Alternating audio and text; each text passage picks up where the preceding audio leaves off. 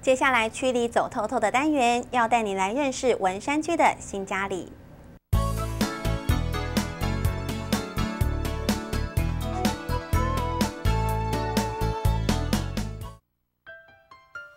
来到文山区新家里的环保公园，眼前这一大片的花草树木和空地，成了附近居民们休闲散步的好去处。绿地花草在里长和环保职工们用心的维护之下，显得生意盎然。很难想象，这里原本是杂草丛生的老旧军方宿舍。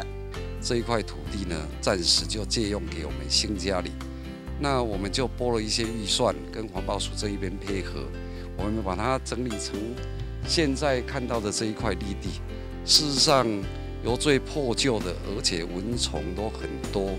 然后真的很脏乱，没人敢进来的一个地方哦，变成一个社区的一个环保公园哦。事实上，每一天都傍晚的时候呢，看到小朋友来这边玩哈，诶，自己当里长的哦，其实心里面也蛮高兴的。因为新家里全是密集的住宅区，所以里长特别重视居家环境问题。在九十九年防火巷改建的同时，除了重新铺设地砖之外，还特别加装灯具，不止让防火巷夜晚的景色更加美丽，也因为变明亮之后，更加改善里内的治安。那这一些防火巷的灯具呢，主要除了照明照明之外啊，还有美化环境，最重要的就是，诶，可以防止一些宵小。在防火巷里面胡作非为，那从这个灯在前一两年做好之后，事实上我们社区里面的治安也改善了许多。